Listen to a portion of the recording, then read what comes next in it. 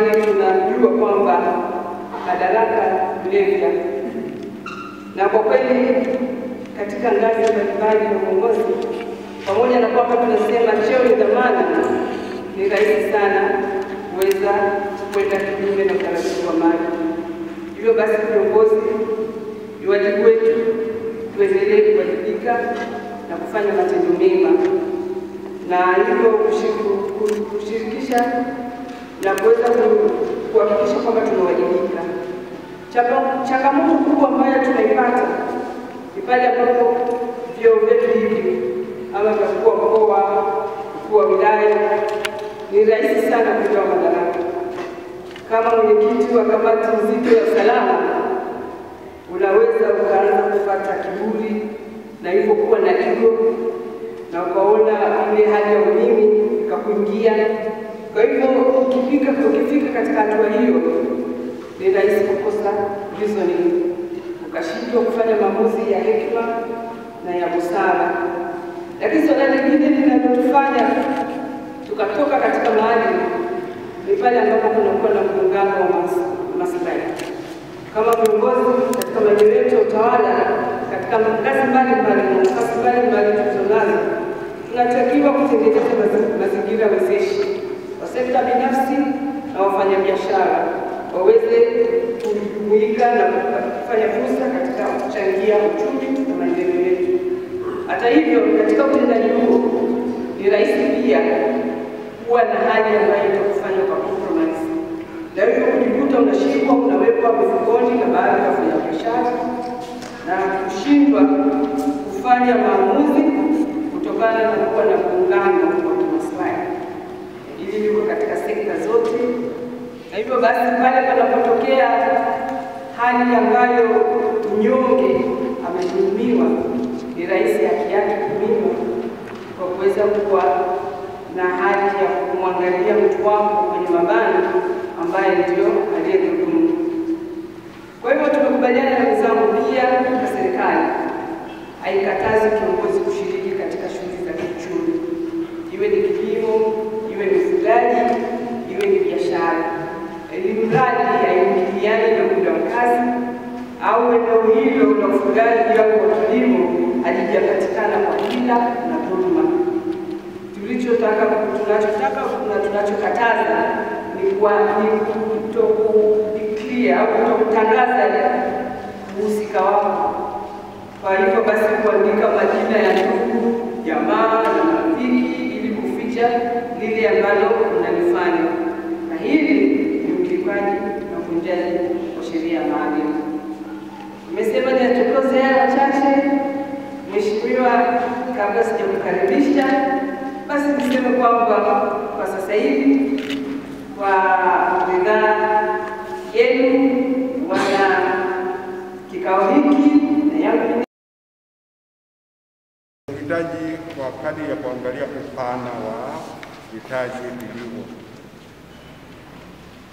Pia tunaaswa tukiwa madarakani au tukiwa kwenye nafasi zetu za uongozi, kuna taarifa ambazo tunazipata kutoka kwa watu mbalimbali wa siri.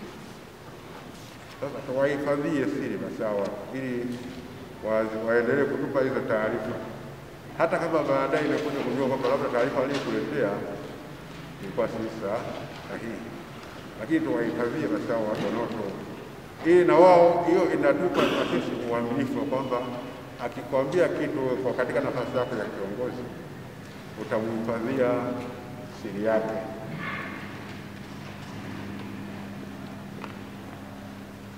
Mwisho ni kwamba tunaasa tuzisome na kuzielewa vizuri sheria, sheria, taratibu au kanuni zile ambazo zinahusiana na majukumu yetu. Kwa kufanya hivyo, hiyo itarahisisha utendaji wa shughuli zetu na zionekana kwamba zinafanywa kwa kadiri ya maelekezo au matakwa ya sheria zinavyoelekeza. Ndugu viongozi wenzangu, ninaamini kwa baadhi ya haya ambayo nimeyagusia, kila mmoja wetu anaweza kuwa kuna kitu ambacho atakuwa amekiokota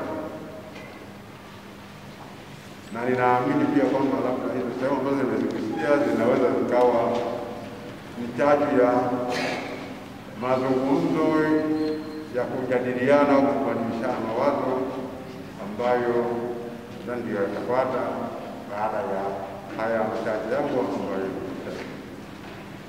nawashukuru sana, asanteni kwa wa kuwasilisha zile fomu ambazo viongozi walikuwa wawasilishe kila mwisho wa mwaka online. Lakini nadhani kama kumbukumbu zangu ziko sahihi, nadhani utafiti umesitishwa au sasa unaendelea. Mbona kwa tofauti kufahamu kuhusu hilo jambo hilo? Nashukuru sana.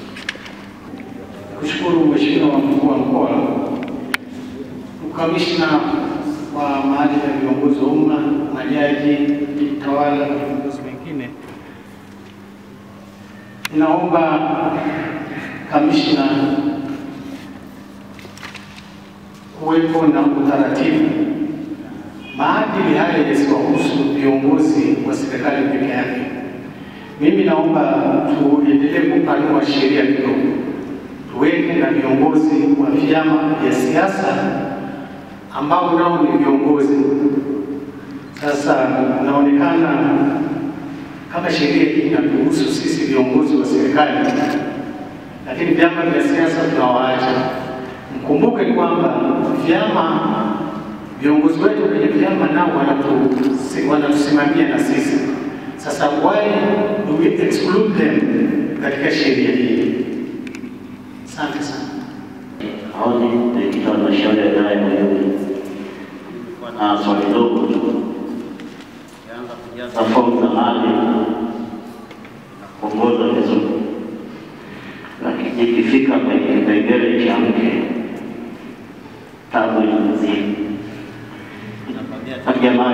wako, lakini kuna jini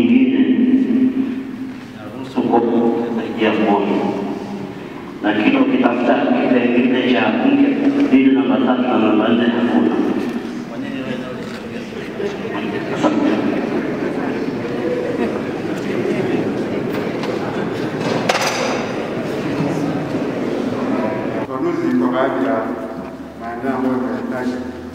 Labda nikianza na sala Dokta. Justin Samale, huyu wanaseka ambalo linakuiana na lile la Ramadhani Omari wanaseka pia kuhusiana kwamba ni inaonekana kwamba swala la maadili inaangaliwa katika kwenye kiwango cha viongozi kwamba kuna utaratibu gani wa kuwalea au kuwajenga watoto na maadili mazuri wakati hata kuwa kwenye bado hawajapata hizo nafasi za kuwa kiongozi. Labda hilo kwa sisi, kwa labda juhudi ambazo sekretarieti tumeshachukua hadi sasa hivi ni kuanzisha vilabu vya maadili kwenye shule za msingi na sekondari kuna vilabu vya maadili vinaanzishwa ambapo tunajaribu kuwafundisha hao watoto maadili mazuri, kwa lengo likiwa ni hilo kwamba waendelee kukua wakijua maadili, maana ya maadili na umuhimu wa kuwa na maadili mazuri. Vinginevyo ilikuwa ni kushawishi wizara ya elimu kwamba labda iingize hilo swala la maadili kwenye mitaala. Hata hata huko itakuwa ni swala la maadili ya sio maadili ya kiuongozi sasa, sababu sisi tunachoshughulikia ni maadili ya viongozi, maadili kama maadili ya kawaida ya kutana tabia. Kila sekta inayo inavyoingia utumishi wa umma. Ndio ina sehemu inachoshughulikia na maadili ya utumishi, lakini maadili ya viongozi ndio yetu na kwamba tunafanya nini katika kujenga msingi ni kupitia kwenye hivyo vilabu vya maadili kwa shule. Sijui labda kama nitakuwa nimejibu zaidi swali lako, lakini msingi ni kwamba hadi sasa hivi juhudi ambazo sekretari imezifanya hizo. Kuhusu swala la Bwana Joseph kuhusiana na kwamba ni kwa vipi, kwa nini hili swala la maadili lisiwambane pia hata sekta binafsi. sheria kwa jinsi sasa hivi ilivyo kwamba hilo inabana viongozi wa umma tu. Viongozi binafsi wao wanabanwa na kwamba wao mkuu wa mkuu wa kila taasisi zile zinazokuwa na yeye ana ahadi yake anaiweka kwa sajili wa BRELA kwamba kampuni hiyo kampuni lake la kusajiliwa ufailini kwamba yeye huwa ndio wanaingia mkataba na BRELA kwa maana ya kwamba anawakilisha ile kampuni yake au au taasisi yake kwamba wanazingatia utaratibu kuzingatia majini na swala kutokuwa na mgongano wa maslahi.